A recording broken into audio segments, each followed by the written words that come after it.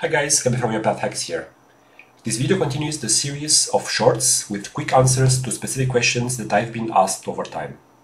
The question today is, how can I get the list of files from a folder without their extensions? Well, there are different possible solutions. We could look for the dot and take only what we have before that, but we can also use a function from an existing library. Let's have a look at the short workflow. First, we get all the files from a folder with the get files function.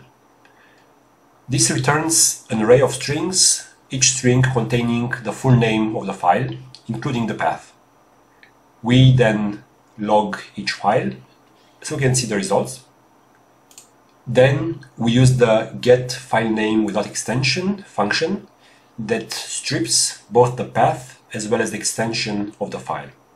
And at the end, we load the result to see if we got it right.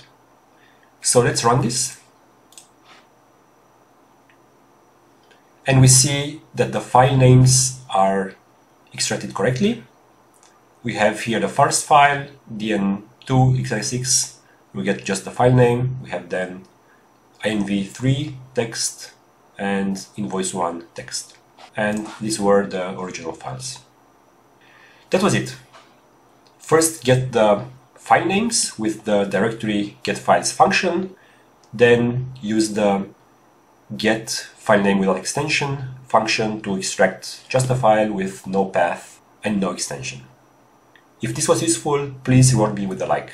Thank you for watching and have a great day.